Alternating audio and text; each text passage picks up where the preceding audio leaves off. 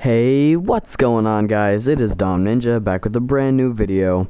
Um, firstly, I have made a lot of upgrades to my house and I will be showing these off in, an, in another video sometime soon, so be ready for that.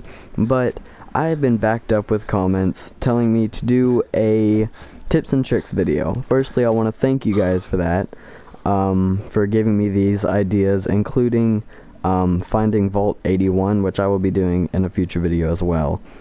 Um, but today I'm going to be doing a tips and tricks. I've got seven of these things for you guys, so I hope you all enjoy. If you do, please leave a like, and if you're new to my channel, subscribe.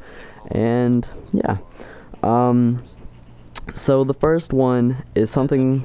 The first two I'll give you is are two things that I've actually touched on in earlier videos, but I want to kind of reiterate them for this video. Um, and I'll just kind of briefly go over these.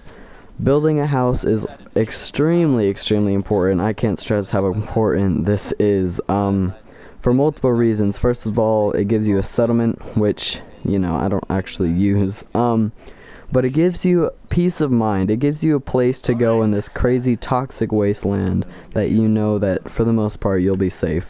And it's a great way to store weapons and sleep and just all kinds of things. Also, sleep um, completely regains your life bar. Little tip. Little tip inside a tip. But it's a great way to store weapons and things like that while we're on storing weapons, I actually have a few things about this with just weapons. Um, firstly, melee weapons are extremely important, and I'll touch on that in a second, but where's my dog? Hey, Dogmeat, come here. Dogmeat can actually hold weapons for you, and as you can see, he also... Listen, come here. Hold position. Come here. Alright you can click trade when you're over at him and he's holding two of my weapons right now in his non-existent pockets and he's also wearing a little skull bandana. If you find things that your dog can wear just simply trade it over to him and click triangle for equip and unequip if you're on PlayStation. Still don't know what it is for Xbox and all that stuff.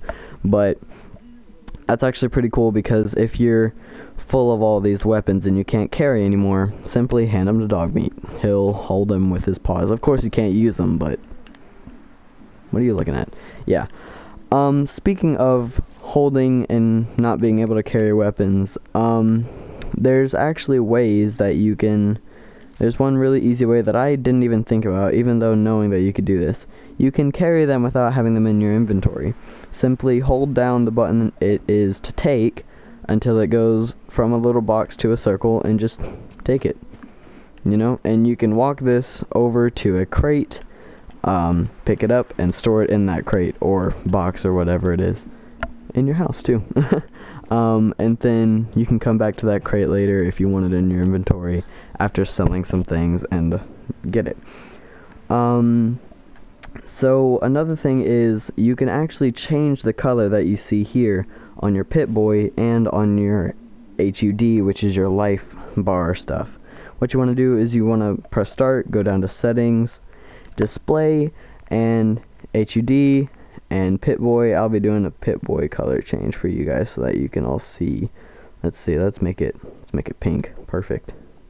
Um, and then just back out of it when you find your favorite color or whatever you want to make it and there it is and you can also do that with your life bar and everything like I said um, something extremely important that I wish that I had known as soon as I got this game is as soon as you can, as soon as you get enough strength and, you know, weapons to do this, find Diamond City and go to it immediately. As soon as you can. Don't get yourself killed, but go out there when you can. Um, or find somewhere to fast travel that's near it and then go to it. Um, because reason being is Diamond City is extremely important in your game. Um, you can buy weapons and it's another another one of those things that just kind of gives you peace of mind because you know you can go somewhere where you're going to be safe for at least the time being. I don't really know what happens in the story, but this is an area where you can be safe. Is that a Christmas tree? There's one over here too. Have these always been here? I don't think these have always been here. anyways, it gives you place it gives you a place to just go and it also gives you a lot of really interesting missions like if you go to the dugout inn which is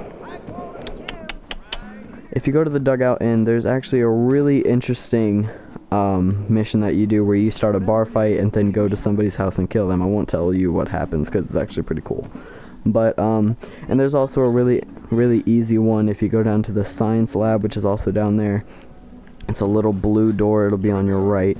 But if you go to the science lab, you get one of the easiest missions, and it just gives you a little bit of caps. It's right here.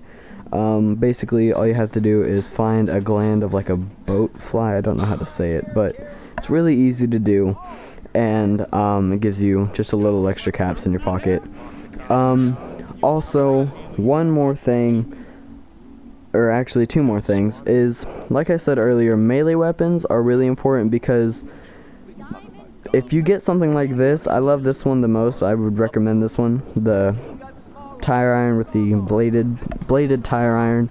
Um, is really easy to make unless you're like me and use all your resources on your house as you could see earlier but you can also come here and usually buy it for very very cheap um, but you can this is my favorite one because it's just really easy to kill things with and um, you conserve a lot of ammo which we all know is important for those dire moments when we really need it um, so yeah melee weapons are very important in the game um, and the last one is somebody asked me on PlayStation how to turn your flashlight on and I'm actually surprised that to get this question, and I will cover that right now. All you have to do is the same thing that opens up your Pip-Boy. All you have to do is just hold it in. On PlayStation, that's, of course, circle. Just hold it in, and yeah, see? Bling. And you got a little flashlight. And it's, I think it's actually the same color that your Pip-Boy will be, so that's pretty cool, too.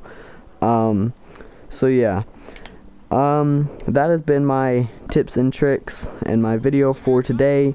I hope you all enjoyed. If you did leave a like comment and subscribe. If i missed anything that you want to see in a video go ahead and comment that and give me some new ideas. Um who knows? I might make another tips and trick because i know that i didn't i didn't uh cover a lot of them only seven but, um, anyways, I hope you all enjoyed, and be looking out for more videos where I do more things that you guys want me to do coming soon. So, yeah, without babbling on anymore, um, I'm going to end this video.